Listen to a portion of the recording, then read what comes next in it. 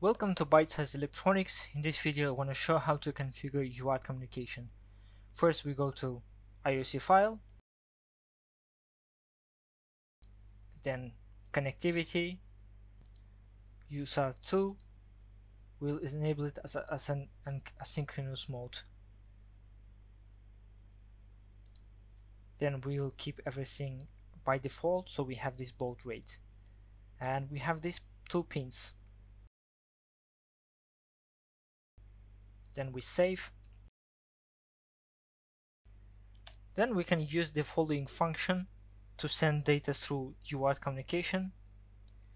So if we we have this function for initialization so we need this variable. Then we need some buffer and the size of this buffer. For that purpose I'm going to create um, an array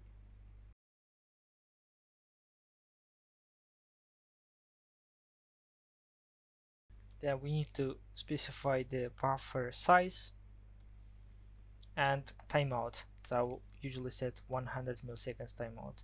Then let's put 100 seconds uh, 100 millisecond delay. So loop time will be 100 milliseconds.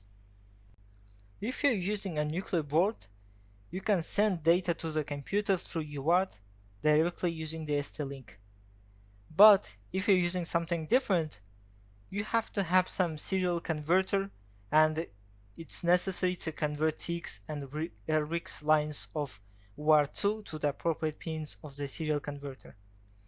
Then what we need to do is to press debug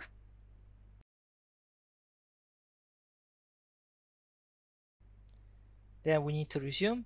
Next step we have to check the communication port that we're using uh, on on Windows just open device manager and in my case I have communication uh, port 5 but in your case it might be different.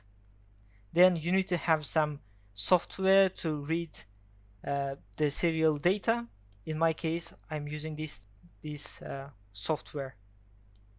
Then we choose serial and we need to specify the baud rate. In our, in our case we have the following rate and as we saw we have I have communication port 5 then if we press open I'm receiving hello world.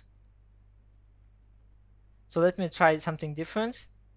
Instead of hello world let's say hello Steppe school.